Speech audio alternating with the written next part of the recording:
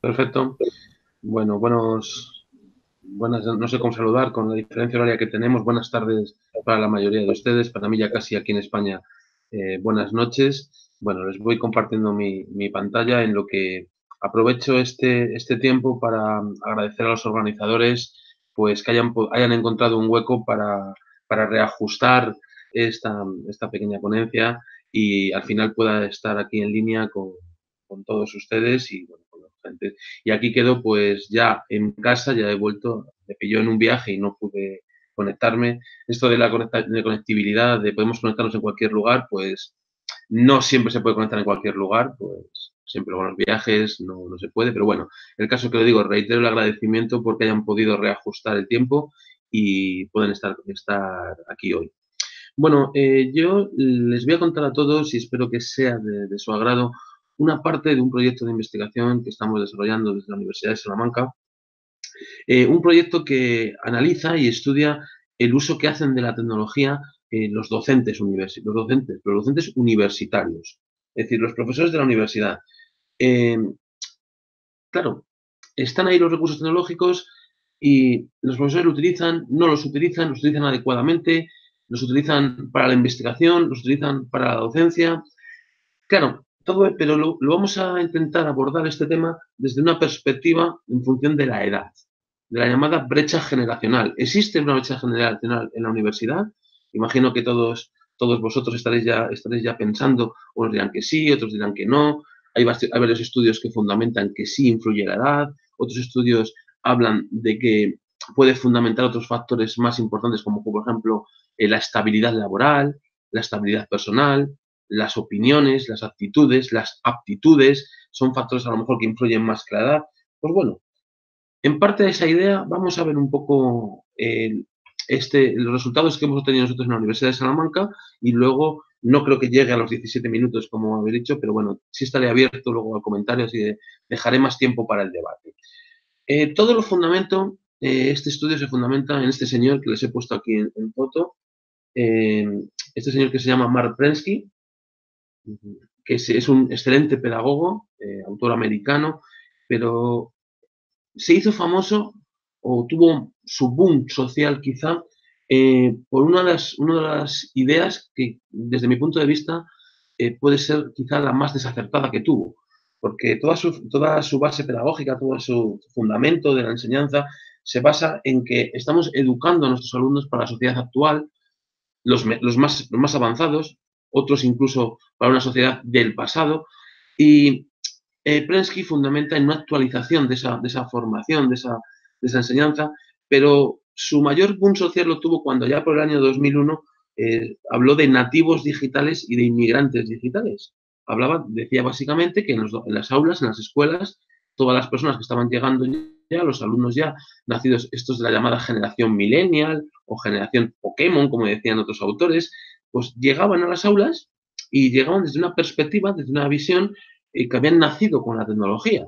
Y los docentes, a los cuales los consideraba inmigrantes digitales, pues eran personas que se, habían tenido que adaptar a la, a la, a la, tecnología. Entonces, claro, no eh, si unos eran inmigrantes digitales y otros eran nativos digitales, pues eh, esa, esa, diferencia de edad, de concepción, pues era un problema de cara al empleo de la tecnología de manera adecuada en la enseñanza. Claro, aquí yo empiezo Mm, la realidad de si existen nativos o inmigrantes digitales, pues es un tema de que podríamos hablar horas y horas, no diez minutos. Eh, pero lo que sí está claro es que seguro que tenéis en la cabeza alguna persona, algún sobrinillo, algún hijo, algún hijo de algún conocido, que les ves a niños con dos, tres años que cogen las tablets y saben ya pasar vídeos de un lado a otro, saben, eh, después mejor en YouTube y son capaces de pasar de un vídeo a otro, y están viendo dibujos animados o están viendo eh, con juegos. Claro, cuando hay a lo mejor personas más mayores, pongamos una edad a lo mejor de más de 70 años, que no son capaces a lo mejor de entrar a una URL, por ejemplo. Entonces, claro, las diferencias en la edad sí influyen, pero concretando más, yo con mis alumnos eh, como ha dicho el compañero en la presentación, yo soy profesor en la Facultad de Educación aquí en la Universidad de Salamanca.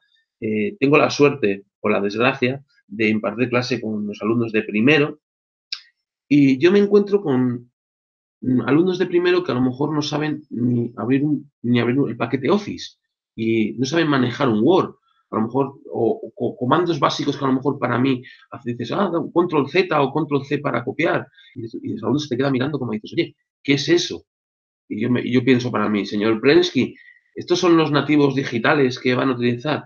Entonces, claro, la idea que me llega a mí, que me fundamenta en este estudio, es pensar, ¿realmente estos nativos digitales que han nacido con la tecnología utilizan la tecnología para realmente aprender, para aprender con ella, para utilizarla en la enseñanza o la utilizan para la diversión, para comunicarse, para subir fotos a Instagram? Desgraciadamente, en base a la experiencia que yo tengo, creo que el uso de la tecnología en estos nativos digitales se está asociando más al entretenimiento que al aprendizaje o a un uso razonable. Entonces, eh, dentro de la investigación esta que teníamos, pues decidimos, oye, de esta teoría de, de Prensky ya han pasado años. A día de hoy, estos nativos digitales están comenzando, están llegando a la, a, la universidad ya. Por ejemplo, eh, hay profesionales de la enseñanza que a lo mejor todavía no son nativos puros digitales, pero que ya han nacido con la tecnología, han desarrollado la tecnología, han empleado la tecnología, conocen la tecnología. Em, yo tengo una teoría personal que quiero compartir eh, con todos ustedes, que creo que eh, las personas que realmente valoran los beneficios de la tecnología son las personas nacidas, me voy a incorporar, en los, más o menos en los 80, en la década de los 80.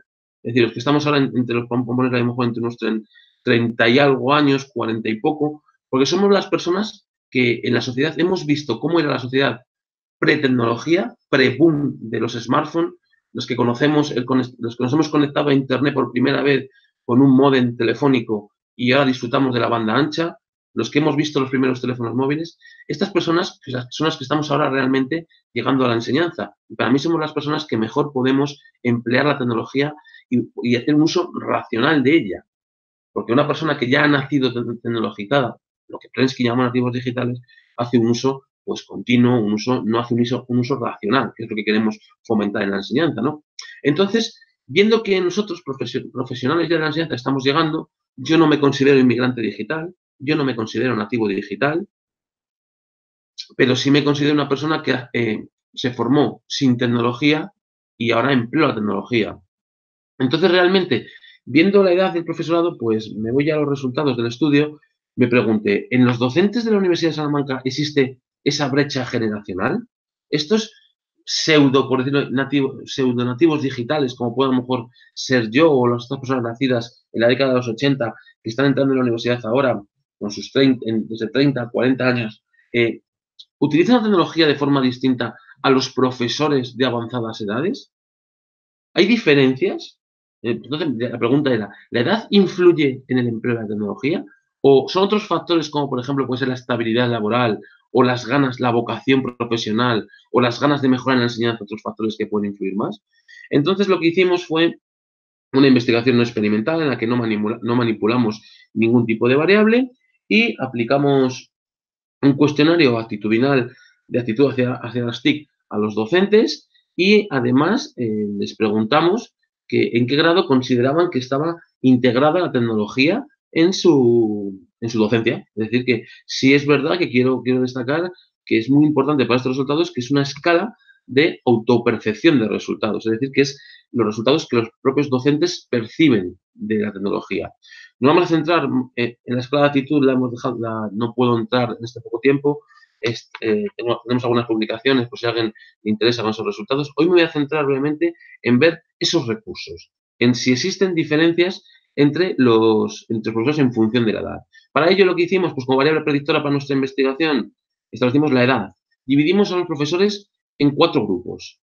Los llamados de menos de 40 años, que serían los que he situado yo como las personas que están llegando a la universidad ahora, que ya han empezado a crecer con la, con la tecnología, pero desde una perspectiva racional, no, no, eh, no obligada. Los adultos, por llamarlo así, adultos, personas que están entre 40 y 54 años, una edad intermedia, media, que son personas que todavía son relativamente eh, jóvenes, que nadie se me ofenda eh, para el estudio. Estoy hablando en términos metodológicos del estudio, que nadie piense que llamo viejo ni nadie nada, pero bueno, la gente de, una edad media de cara al estudio y por otra parte las personas mayores de 54 años, estas personas que ya cuando llegó ese boom tecnológico estaban ya directamente en, en la docencia. Entonces, claro, con esa agrupación, por otra parte, lo que, como les he comentado previamente, eh, pasamos una escala de actitudes que tenía, validada de estudios previos y les preguntamos sobre un cierto número de recursos que nos dijeran, eh, mediante una escala Likert del 1 al 5, en qué grado percibían que, estaban, eh, que estaban integradas, integrados esos recursos concretos y precisos en su docencia. Bueno, y aquí con esta gráfica, que me gustaría que vieran, pues aquí tenemos los resultados. Vemos la abajo vemos los recursos, los diferentes recursos que, por los que hemos preguntado, para que se sitúen por si no les llega eh, bien los colores. Eh, los jóvenes son la línea azul, es decir, los menores de los menores, perdón, de, de, 40, de 40 años, que hemos hecho el primer grupo, el grupo más joven, son los azules. Los eh, de edad adultos son los rojos. Y los llamados seniors, los llamados más, más, más, más mayores, son la línea verde. Pues estos datos, ¿cómo los podemos interpretar? Pues es, son difíciles de interpretar. Porque si vemos, si, como se, fijan, en cada uno de los distintos recursos, vemos como la tendencia de los resultados es la misma. Es decir, que el recurso que no emplea un docente no lo emplea ninguno. Pero, sin embargo, en los, sea, bien sea un uso más avanzado, un uso totalmente integrado, que sea el 5, o un uso no avanzado, siempre dentro de esa tendencia vemos como si hay pequeñas diferencias en función de la edad. Entonces, claro, las conclusiones que sacamos aquí pues, no, son del todo claras, son, son muy, muy, subjetivas, habría que interpretarlo. Por ejemplo, vemos aquí el primero, la izquierda que se ve. El campus virtual. Aquí en la Universidad de Salamanca contamos con una plataforma Moodle maravillosa para ella.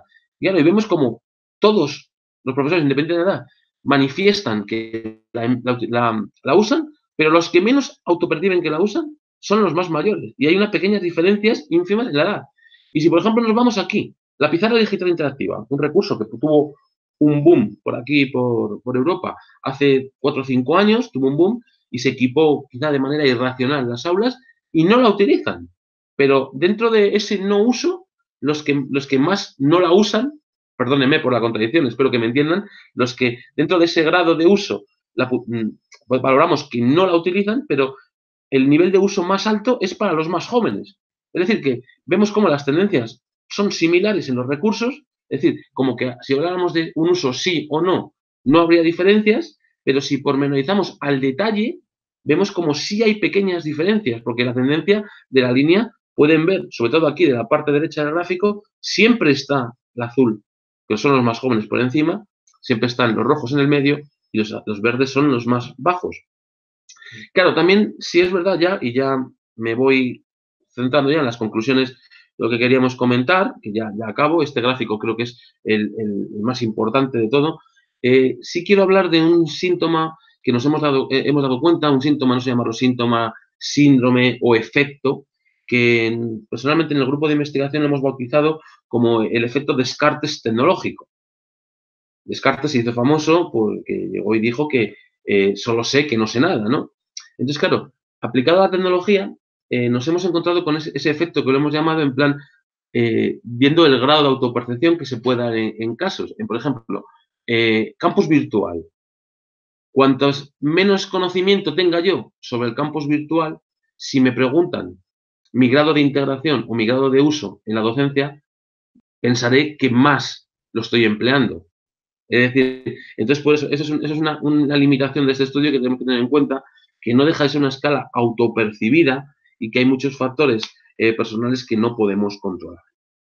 Bueno, pues dicho esto, más o menos eh, eh, brevemente les he querido fundamentar el estudio con los resultados que hemos obtenido. Estamos trabajando en muchos más factores que puedan influir en la docencia universitaria en el empleo de, de la tecnología. Y nada, pues agradecerles mm, su, atención. Estoy aquí abierto para comentarios. Eh, quedan mis datos de contacto por ahí, incluso para algún, nuevas investigaciones. Al final esto es el objetivo, ¿no? Establecer contactos, abrir nuevos proyectos, seguir investigando para mejorar la enseñanza. No puedo acabar nuevamente sin reiterar el esfuerzo de la organización para meter en este hueco otra vez nuevamente mi ponencia. Y nada, espero pues haberles hecho un poco partícipe de, este estudio que estamos realizando. Como ven, los datos mm, nos abren a seguir investigando. Me hubiera gustado poder ofrecer unos resultados más claros de decir, sí, pues hay una, breve, hay una gran diferencia o no hay esa gran diferencia, pero realmente los datos son lo que hay, lo que nos ofrecen y me parecen unos datos interesantes de compartir y lo que digo, que me abre para seguir investigando. Estaré abierto a cualquier comentario, cualquier sugerencia, siempre mejor y lo que he dicho, pues establecer cualquier vínculo o conexión. Y nada, pues aquí quedo para cualquier pregunta. Muchas gracias, repito, ¿vale? Gracias a ti, Juan Pablo. Sí, hay algunos comentarios ya aquí en el, en el canal de Telegram que justamente surgieron a partir de que vieron el, el nombre, ¿no? De autor, ¿no? Ya sé, creo que tú los vas siguiendo también por lo que estoy viendo. Prensky, y entonces se desató ahí un poquito la discusión. Dice Víctor Martínez que él no está de acuerdo en la generalización de migrantes y nativos, pero bueno, pues quería escuchar tus argumentos por su lado, Alejandro eh, eh, sostiene que en la educación todos somos migrantes, ¿no? No sé si eh, tú tengas algún comentario al respecto. Al parecer todos venimos de no conocer las herramientas y por lo tanto estamos siendo apropiándonos, apropiándonos de ellas independientemente de nuestra edad. ¿Cuál sería tu postura? Yo, yo he, fundamentado en la, en la, teoría de Prensky el estudio pero yo soy el, estoy en contra totalmente, totalmente de la teoría. Por, por, lo que he intentado, intentado manifestar, a lo mejor no me ha quedado claro, yo creo que hoy en día la tecnología viene impuesta a los jóvenes, pero viene impuesta mm, pensar en los jóvenes que tenemos hoy en día, ¿para qué utilizan la tecnología? ¿Para qué? Para el entretenimiento, para la diversión, para subir fotos a Instagram. Pero vemos a los jóvenes que realmente están eh, empleando esa tecnología de manera racional, repito, para, para aprender, realmente yo la teoría de Prensky es, es, lo que dije al principio, que la repercusión que tuvo, y me alegra que haya habido cierto, porque por eso lo fundamenté, para un poco activarnos a todos. Y estoy yo también lo que decía, creo que Prensky tiene otra, otros postulados, otras ideas mucho más interesantes que esa, pero esa fue la más impactante. Y sí, considero que todos somos inmigrantes, y personalmente no lo puedo fundamentar en, datos de investigación, pero sí en mi experiencia, creo que más que la edad, el factor actitudinal, el factor, y no digo aptitudinal de conocimientos, digo la actitud. El hecho de que el docente quiera mejorar y quiera integrar la tecnología adecuadamente, para mí es el factor más relevante en el uso. Y hablo de manera genérica, ni un recurso ni otro. El, hecho de querer porque más para mí de cara a la innovación educativa, más importante que el, tener acceso a recursos caros o recursos costosos es con la de recursos que hay gratuitos y posibilidades que hay a bajo coste formativas, para mí es más importante el querer integrar la tecnología y sobre todo no integrarla por integrarla, integrarla de manera que mejore la enseñanza. Porque para mí, si tuviera que dejar una última frase, yo creo que el objetivo eh, no es la innovación, que muchas veces a mí, incluso las políticas locales aquí en España, tanto internacionales, que nos vienen, dicen, eh, hay que fomentar la innovación, hay que fomentar la innovación. Innovación, según dice aquí dice la Real Academia, es introducir una novedad. A mí me gusta más hablar de mejora, introducir una mejora. Y si para mejorar hay que volver al pasado, pues, y no tiene que ser algo novedoso, pues creo que ese es el camino, ¿no? A ver qué más me, comentáis. Sí, muchas gracias, Juan Pablo. Eh, muy interesante la respuesta. Lizeth Valenzuela dice, muy interesante el tema y habla de eh, algunos profesores que trabajan en una licenciatura en línea en la que varios de los que están presentes eh, trabajamos y dice que, ha notado, que se ha notado que algunos profesores, tutores mayores, mayores habilidades en el uso de las tecnologías que otros y que eso se relaciona con la edad. Ella argumentaba que entre sus profesores sí encuentra una relación, ¿no? Eh, y luego se comentaba que también entre estudiantes, dado que, bueno, en esta carrera en línea tenemos eh, estudiantes de diferentes edades, ¿no? Pues bueno, ese era más bien un comentario, una afirmación. Y después eh, Alejandro comentaba, en la propuesta de Prensky es, es muy, muy cuestionada y en el presente en tanto que parte de una lógica mercantil que no se ajusta a la realidad educativa. ¿Cuál es la utilidad de saber los usos de las herramientas en la educación? Es decir, ¿para dónde llevarías tu estudio? Aquí, muy, muy interesante la apreciación y en parte estoy contento del hecho de que vemos que de esta, de esta visión, aquí profesionales de la enseñanza reunidos, mm, desechamos la idea de Prensky. Me alegra ver esto. Eh, pues claro, eh, la pregunta que, comenta por aquí Alejandro dice, claro, ¿hacia dónde va? Eh, la, finalidad es buscar el fomentar un uso razonable de la tecnología. ¿Veis indicadores hoy en día de calidad? Es la integración física de los recursos tecnológicos que no nos aportan nada. Cuando realmente eh, yo, siempre, digo una, cosa, yo, digo a mis alumnos cuando hablo, cuando estoy en la tecnología educativa y tenemos aquí en la Universidad de Salamanca un máster del uso de tecnología, eh, tecnología educativa y cuando les hablo con ellos les digo siempre, eh, un, un, profesor que es capaz de motivar y transmitir los contenidos, el típico profesor de los folios amarillos, si es capaz de conseguir que los alumnos aprendan y sus conocimientos, que siga empleando sus folios amarillos esos los amarillos que lleva 40 años. El problema es que yo personalmente creo que ese profesor no va a ser capaz.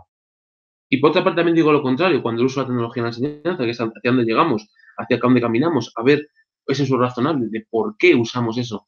Para mí, un burro, un burro, conocemos todo el burro, una especie maravillosa, un, un animal maravilloso en peligro de extinción. Un burro, si le ponemos un ordenador al lado y unos cascos, pues me vais a perdonar, pero va a seguir siendo un burro.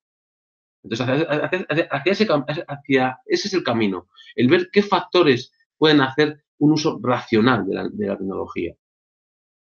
Claro, claro, muy buen ejemplo el, de, el del burro. Vamos a dar lectura a los últimos comentarios, dado que, bueno, ya nos quedan dos minutos. Dice Víctor Martínez, a mí me sirve la categorización de Pensky. La uso como ejemplo de cómo no se debe crear una categorización o generalización de manera tan difundida cuando es una categoría de análisis necesariamente incompleta y se volvió mediática. De acuerdo totalmente contigo, Juan Pablo, vamos a innovar trayendo de regreso el método socrático con nuestros alumnos. Posteriormente, eh, decía Elaine Teixeira, lo que me parece es que Bauman está correcto al decir que vivimos tiempos líquidos, ¿no? Y bueno, eh, eh, más, o menos van dando nuestros comentarios. ¿Quisieras darnos un cierre sobre el último minuto que te queda? Pues un cierre de eso, pues nada, eh, comentar, pues lo he dicho, me, alegra mucho haber podido compartir estas impresiones a nivel internacional con todos y me alegra que a pesar de las diferencias contextuales, pues no, no, no diferenciemos, no hay tanta diferencia en la visión mm, pedagógica de estos aspectos y uso de tecnología educativa.